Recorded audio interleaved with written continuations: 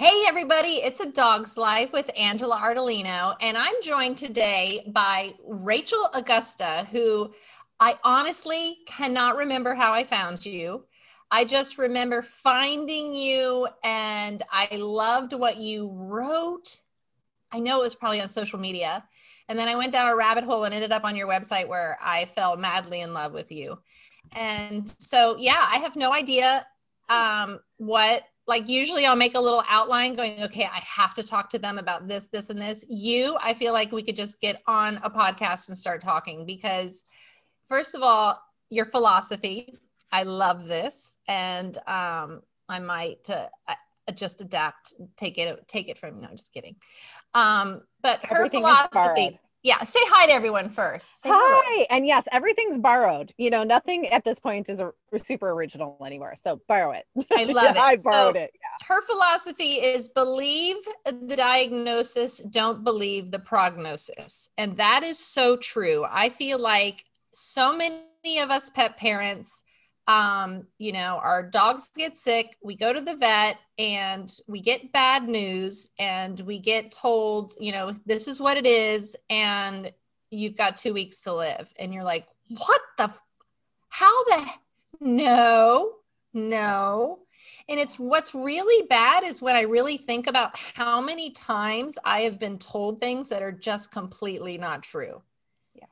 And now when it comes to animals, I'm mm, sorry, unless you have been with animals as long as I have, I don't believe anyone but myself now. I trust my gut. I've had wonderful vet veterinarians, holistic veterinarians, of course, tell me you are you are right. You know what you're doing. Trust yourself because it is so hard to have that conventional vet who is telling you if you don't have if you don't get this chemotherapy, if you don't remove that leg, I have a by the way, a Doberman with osteosarcoma who I'm treating with cannabis, mushrooms, and diet. And um, uh, yeah, she's supposed to be dead already. Yeah, and she's not. common story. Yeah. So I feel like you're like me, where yeah. you've become this person where you've helped so many people, you know, learn outside what what there is available outside of convention because conventional vets do not get taught about uh, diet or nutrition they don't get taught about uh, essential oils. They don't get taught about um, cannabis. There's chiropractic, all of these wonderful modalities that save lives on a regular basis. So, right. Yeah, I'd love to chime in here because, I mean, two main things. First of all, let me just say, I love vets and I love Western medicine. And if you have broken legs or a serious cut, a wound where you need surgery, this is not time for essential oils. This is time for your vet. This is time for your hospital. Like we so grateful that they're there. Right. you know like they have saved so many lives. But the issue is that we have somehow put ourselves into a position of believing that they are the end all be all that they're the only thing out there. And that creates a lot of desperation because they're not. And they've never claimed to be. Like you said they're not nutritionists. They've that's not vets have never claimed to be nutritionists. So the fact that people go to them for nutritional advice it's like why would you do that? That would be like going to your grocery store clerk for nutritional advice. It's not their job.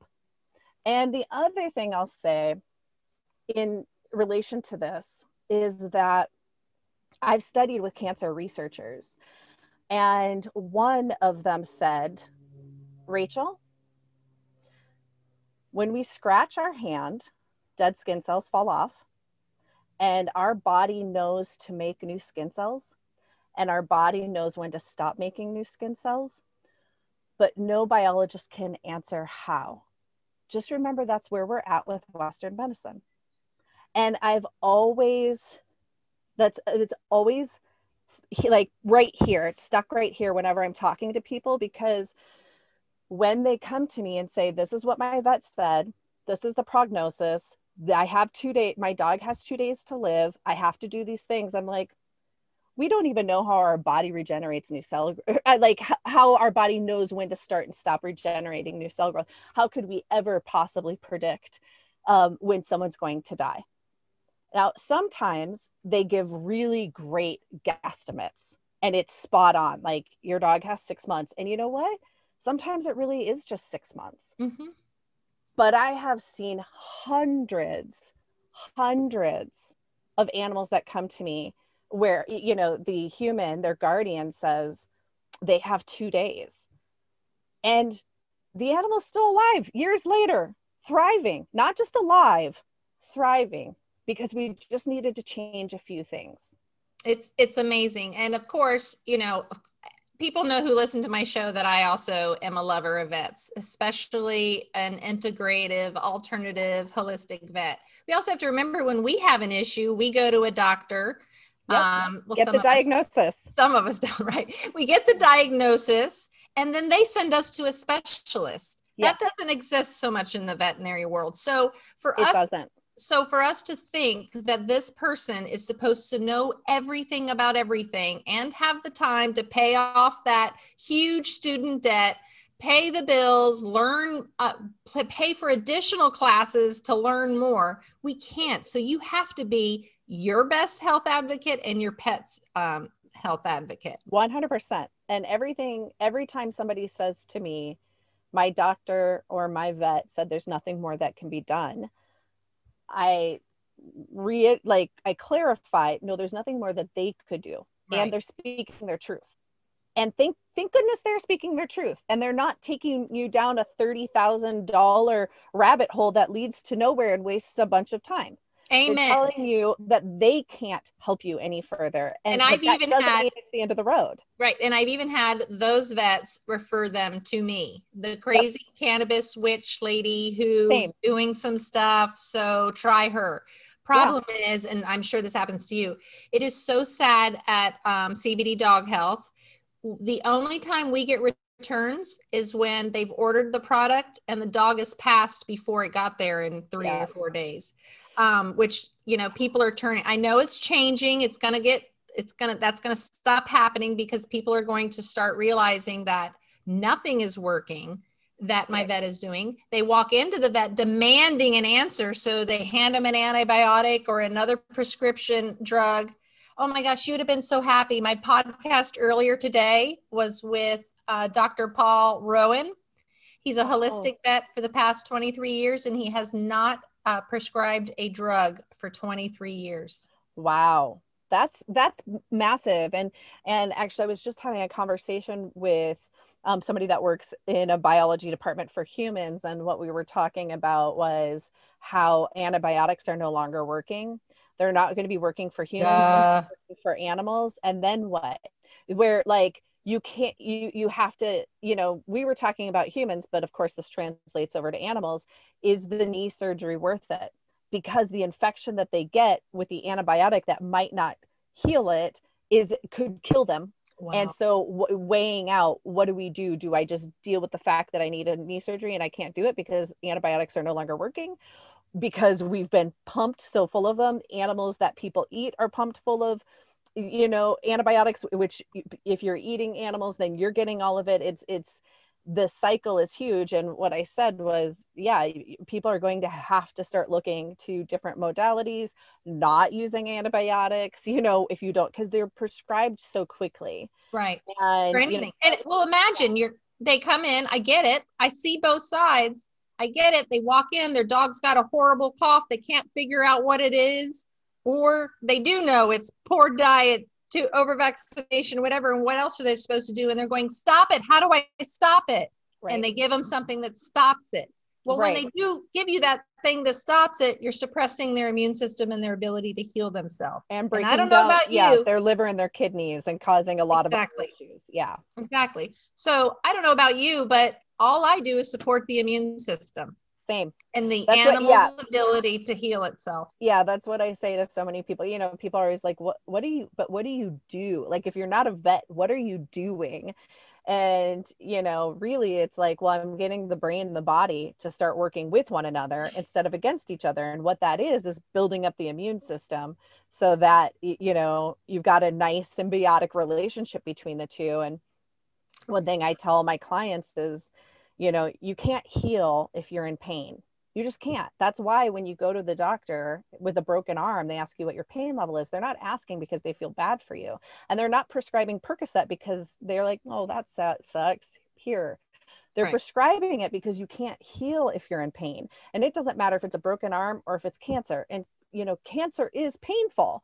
And that's why you know so many of my clients are like oh no my dog has do you think they're in pain? Yeah they're in oh, pain. it's cancer is painful. That's how most people know they end up having cancer. Most humans is because they had such an excruciating pain that that's what they went and like went to a doctor for was the pain. Right and so what you have to do is get the brain to have a disco party you know you need the brain to be like to stop sending the messages to your body that's like you need to look at this. There is something seriously wrong. And if you can get the brain to relax and take a break which happens with cbd oils which what? is why i'm a massive fan like you know give the brain a disco party through cbd oils then the muscles relax. And when the muscles relax, relax, the blood becomes oxygenate oxygenated, which triggers the whole physiological relaxation response that leads to new cell growth. And you, it doesn't matter if you're on chemo or if you're not on chemo, you need new cell growth. You have to have it, which yep. is why I'm like, I love CBD. And when people, you know, there's so many questions like, well, does it interfere with Western medicine? No, does it break down their organs? It complements it a lot of it times. It complements it. No, it complements everything. And you're not going to overdose on it. You're not going to form an addiction to it, but it is going to create the disco party in the brain that's going to trigger the physiological relaxation response that's going to lead to new cell growth. So you need it. And um, I love your title. You are a holistic. Oh my gosh, I already forgot it. Say, tell me, holistic practitioner what did you call it yourself? yeah I, yeah holistic practitioner that works with animals just who are sick with cancer diseases injuries old age illnesses. Yeah. right, so imagine that um, just like vets can only have so much and be taught so much in that span of time and become specialists people like you and i have i'm i am a pet cannabis expert. I have used cannabis, CBD, THC in every single form on just about every animal that I can think of. Maybe not a fish. I'll have to get some water soluble, Ooh, but I'm sure yeah. drop her into the water. right. they, they're like all of a sudden you'll know yeah. it's working when they're like doing the backstroke. Right. they're like, I feel good. But yeah. yeah, we um, you know, know, I'm pretty sure your story was like mine, where you got an animal that was sick and was given a um, prognosis that was not, you didn't accept. And you're like, yeah, nope. Was that kind yeah. of how it started? Yeah, it's exactly how it started. I, people ask me all the time, like, how did you know that you, how did you know you wanted to work with animals? And it's like, well, this was never my plan. And, you know, I got into it because at the time I realized it was me or it was nobody. And my kitty who was was is you know on the other side my soul companion. Um so you were kind of lucky in a strange way because at least you didn't get the vet who tried another drug or another treatment or more x-rays or an ultrasound or put them under for you know for some sort of exploratory surgery. I remember that happening with my dog. They're like, "Well, we we can't see anything wrong, so we're going to have to open her up." And I'm like, "Oh, okay, yeah, let's put her under when she's on death's door." They turn it well, and I, I see vets do this and I see human guardians do this, and I really talk people out of it is don't turn your animal into a science project. Um, they it's too stressful, it will not help them and you will end up uh, spending everything you have and go into debt, which will cause such major stress in you, it will actually cause their cancer to grow. So, um, yeah, I was lucky in a weird way that I had a vet that was so had so little bedside manners that she sent the hair back up on the hair up on the back of my neck. Like, you know, she's old, she's gonna die. But you and, know what, guys? Pay attention to that. Yeah. you don't have a vet that you can go, hey, have you how, how what do you think about CBD? Yeah. Or they talk to you that way, or your hair stands up on the back of your neck. You have a bad feeling. Leave. Bad feeling. Yes. You we now live in a time where you can find your favorite vet yep. and you can call them up on the phone and do a Zoom meeting with them. Do totally. that instead. So much has changed, honestly, since I've been in this business. But at the time, you know, that's how I ended up working with animals was because I was like, I have to be the advocate. And and now when people come to me, they're like, wow, I'm so grateful you're giving me this information. I'm like, because this was all the stuff that I needed and wanted that was not out there. Nope. And I I am grateful that I had a vet who had such a you know chilling demeanor because otherwise I would have listened her implicitly because I was lost. Don't run to your vet if you're lost about anything. You've got to do your own homework. Um, you know, gosh, how many years ago now? O- Odie, when when my Odie became a, he's my soul dog. When he became an old man, when he was nine years old, he started kicking his leg out. He stopped going up the steps. You know, all kinds of things. And I take him to my vet, and she practices East West. And she said um, immediately, she says to me, "It's a brain tumor." without checking anything. And I'm like, how do you just spit that out? Mm-hmm. You know, and I'm like, of course I believe her. Obviously, everything that she's seeing him do or whatever, and I've told her must, in her experience, equal brain tumor. And then she told me it was degenerative myelopathy. Mm-hmm. Then she told me it was lumbar something. So every time she told me something, I just kept don't doing the huh? What? No and every time I she'd say something, I would research it, mm-hmm. and um, and I uh, made an acupuncture appointment with her, and this is where I feel like I got got lucky, aggravated but lucky. Is she? Uh, I made her take X-rays, everything we could, and I said, and I want to do acupuncture. She's like, let me do, let me look at the X-rays, and then come back next week. Let me look at all of this and come back next week, and I'll do an adjustment according to what and I'm like, yes, that makes sense. I came back and she um, she's like, oh, she had also told me about a chiropractor. So I did the research, came back. I said, hey, this chiropractor, um, he referred me to this person and this person. And she's like, you can't do chiropractic without x rays. I'm like, you did x rays. No, I didn't. She starts arguing with me about whether I did x rays. So that was my see you later. yeah, like you're but not even important. looking at notes. You're not even looking at your own notes. So I'm going to get, so this is, I want people to understand just because it's a holistic vet, you still need to do your homework. If you still don't have that, that good feeling or understand or feel like that someone is your um, also your pet's best advocate and working for you then you need to move on because it's not going to happen totally and and you know and on it so many i tell so many people this you have to trust your gut. That is your guiding light. You know, it's like I can't tell you how many times I've taken my car into a car shop and been like, there's something wrong. And they're like, everything's great. I'm like, no, I know there is. I know my car. I can hear something. Dig deeper. Dig deeper. I mean, we can all relate to this. Like we've yep. all been in, a, we all know when there's something wrong with our car. Mm-hmm. And in the same way, you know if there's something wrong with your animal and if they're taking if you really tune into yourself you can even if you don't know the answer you're like i'm not psychic enough to know you know when something doesn't feel right we all have that ability otherwise we'd all be dead like we were born with it you I know i mean really everyone think about it when has your gut been wrong never, never. so your always trust never it. that cut trust your gut. And if you are, and this is the thing though, I get it when you're scared and you're freaking out because your best friend is sick and dying. I get it. So you're like, I'm too ungrounded. I can't tune in. I don't have the ability. That is why you go and get a second opinion. That is why you go and talk to unbiased parties like, like Angela or myself who are like actually actually I don't mean to interrupt you. I want to back that up a minute.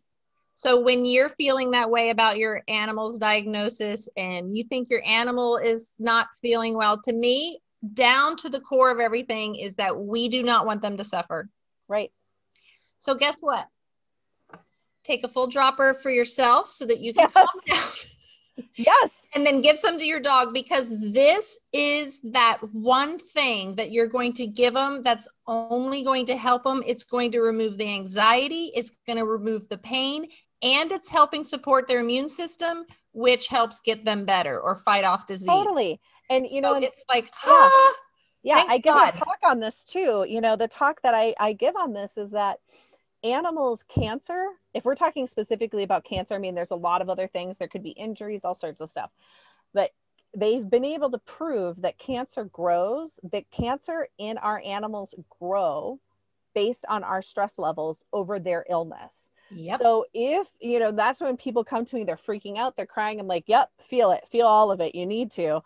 And then go jump into some serious self-care which would yes be cbd baths like really tuning into yourself because you have to be grounded for them you're their advocate you have to be the one you know i always think of actually so my little brother was hit by a car when he was like seven eight oh my gosh. and my mom's response was to get down on her knees and start praying. And I remember as a child being like, You're not going to help him. He's out on the ground right now.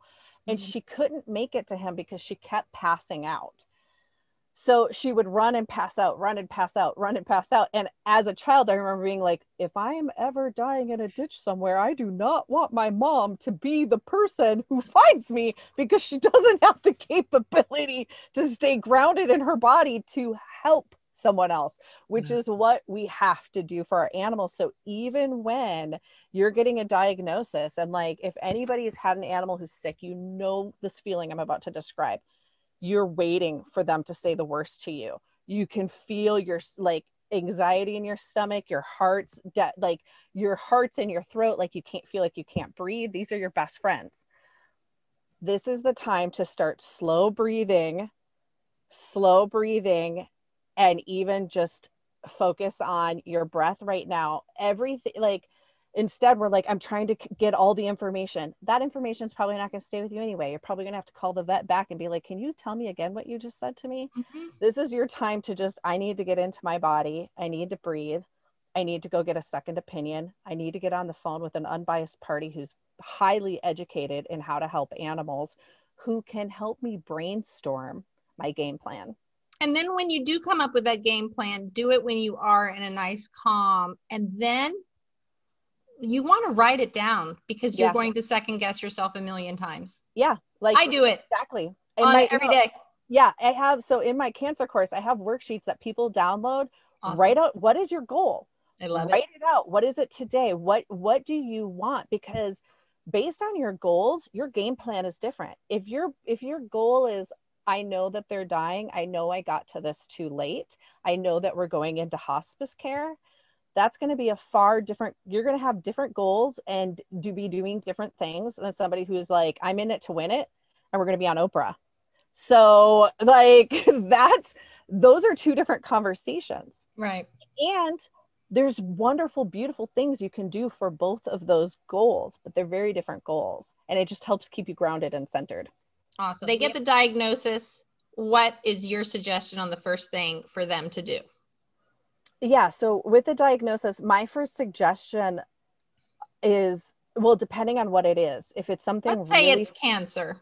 go I get mean- a second opinion from a vet like go get another opinion you know just get really clear on that. We see this happen with humans so many times you get a cancer diagnosis then you go to another doctor and they're like it's not cancer. You have ibs Right. um and so just go and get a second or a third opinion. That's always especially when you're like this is big. I have to create a game plan.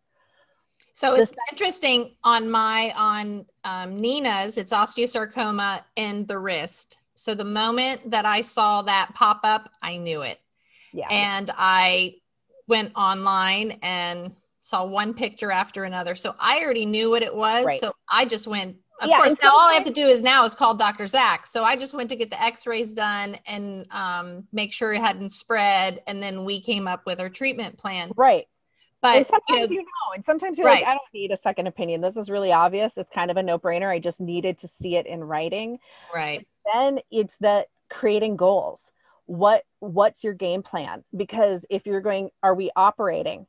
are we doing cbd are we like are we doing traditional chemo chemo and are we doing eastern and western right and remember people i immediate uh, this is before i knew nothing about osteosarcoma as far as me having to you know come up with that game plan is that i thought the first thing i would do that i was going to have to do was amputate her leg yeah because you think well the cancer's here on the wrist i take the leg i've gotten rid of the cancer however that's not how osteosarcoma works so that's what most that's what convention tells you to do take the leg off chemo radiation everything without ever mentioning that we could do all of these other things and that amputating the leg does not remove the cancer. And how many people think that? And that is, you know, your $10,000 and your dog is still dead. Right. You and, know, and that's tortured, you know, right. have its yeah, their last days that. have been horrible. Yeah. You know, and that's one of the things that I've really tried to, so for me something is that I've tried to really bring into my life is I want to know what th- I need to do before it happens. Like I want to be prepared for the bad before the bad hits because a lot of times when the bad hits, let's say cancer, you're like, I don't know anything about cancer. I don't know what could trigger it. I don't know what makes it better. I have no idea. And so you're like, gosh, now I'm throwing myself into a crash course and I'm depressed. I'm freaked out. I'm trying to be their advocate. And so, you know, it's like I want to say, what's the first thing you do when somebody gets cancer? Educate yourself on it. But no, educate yourself on cancer before anybody ever gets sick because if you educate yourself on it, chances are you can prevent a lot of it. You know, a lot of Amen. cancers come from things that are in your house. You know, it's your toxic, stinky chemicals, it's the scented candles, it's incense scented incense. Get it out everything of the house. She everything Your Glade plug-in. She is right. Get rid get of it Get it out of the house. Like get you so your laundry detergent. Laundry to get it out of the house. You know, floor cleaners. Exactly. And people don't understand like humans have 10 million neuron receptors in their brain associated with smell. A cat has 80 million and a dog has 400 million. And so, you know, I, I always say to people, we all been in a big mall we all know when you're like in Macy's and when you're getting really close to the perfume counter. We all know, like, okay, I'm coming up on it. I can feel like the little hairs on my face start to pringle. Mm-hmm. I start to get a ring headache. Okay, imagine multiplying that by 40 wow. and putting me in a small closet. That is essentially what we do to our dogs and cats and birds and, you know, animals, bunnies, when we force our Glade plugins on them, our pumpkin scented candles, our vanilla. Like, get it out of the house. And if you educate yourself on some of that, you don't have to throw yourself in a crash course once something bad happens, because the truth is, we're all going to die. And cancer is one of the biggest reasons why our animals are dying. So, educate yourself on cancer and how to prevent it now and how to, like, well, what would I do if something happened? And, you know, so do that before it hits. But after, once you get the diagnosis, then you're like, I know, I know, I don't have to start at the beginning and educate myself. I know where I can jump in. Because when our animals get sick, humans love us, but oh my gosh, we wait until things are so bad that you have you're calling on a miracle and or they run to the vet immediately for diarrhea i'm like everybody gets diarrhea. Is the dog running around happy and just happened to have some diarrhea? what did you feed sakes? them? A bunch of popcorn last night? Yeah. Okay. Now they have diarrhea. But yeah, it's you know, it's uh it's one of those things where it's like even with ourselves, we wait till things are so bad that it's like, oh great, now I really need a, a crisis team, you know. Um and so the same is true with our animals. Like, don't wait. You know, even when people get a cancer diagnosis, they're like, I'm going to spend some time thinking about it. I'm like, do that. But don't spend a month thinking about it. Spend a couple days thinking about it. And you need to start making action like right now because it moves quickly. I love that you brought up being uh, preventative because, of course, Nina's is uh, osteosarcoma, which is a bone cancer, which is most common in large breed dogs. Yeah. Um, it's a genetic thing. And so I'm like, well, if it's genetic, what if after the one year of age, we start all large breed, especially Dobermans and Rottweilers that get it the Greyhounds most, get it. Yeah. Get it, give them Yeah. start them on a CBD regimen so that we can see if we can prevent it from happening in the first place. Totally. And that's the same with injuries with big dogs. You know, like so many dogs come to me with um, back injuries. And eh, honestly, I didn't know until I started working with animals that so many dogs have back injuries. Oh my god, You know, all of them. All of them. Like I met a dog who actually I didn't meet the dog. They euthanized the dog. I met the family. The dog was chasing a butterfly, like turned their head and, eh, you know, nerve something out of joint. Yeah. And the vet said we need to euthanize. What? No. Like, would we euthanize ourselves with a pinched nerve? I've pinched a nerve in my back. Yeah. And, oh my know, gosh, and ridiculous. so I it's so sad when I hear that or people come to me and they're like, this is what happened to my dog. My vet said it's displaced discs and it's going to be $15,000 surgery. What do you think? And I'm like, okay, well, I've pinched a nerve in my back slipping on ice. And you know what? I didn't have what we know about back surgeries is that you never recover in humans. Humans never recover from back surgeries. You're, you're in chronic pain the rest of your life. And Mhm. chances are you're going to have to have more back surgeries. Let's apply that and say that's probably true for your animals too. What worked for me with mine? A lot of pain relief. So let's do that with your dog, you know, put in the pain relief, give the pain relief and and you see them like within a week or two up and jumping around and they're fine. I love it. I've had such a good time talking to you today. We have to do this again. I don't know how. Maybe on we'll do some Facebook lives or something because I would love that. Yeah, I would think- love that. this is this was awesome, and I knew it would be. Um, where can I where can people find you? Let's uh, give them your information, your website, and how they can get in touch with you if they want to talk to you about their dogs. Yes. So um, my website is my name, rachelaugusta.com. And there's a free cancer course on there that people can go through whether their animals have cancer or not to educate themselves on it. And there's worksheets, videos. It's super easy, really quick. I didn't turn it into this hard, horrible thing because nobody needs that right now, especially after 2020 um, and 2021. So Right. it's really easy. Um, yeah, I'm on Facebook, Instagram, like all those places, just under my name, they can search me and they'll find me that way. Awesome. I'm so glad I found you, and thank you so much mm. for being on my show today. Keep in Thank touch. Thanks, Angela. Have a good one. You too.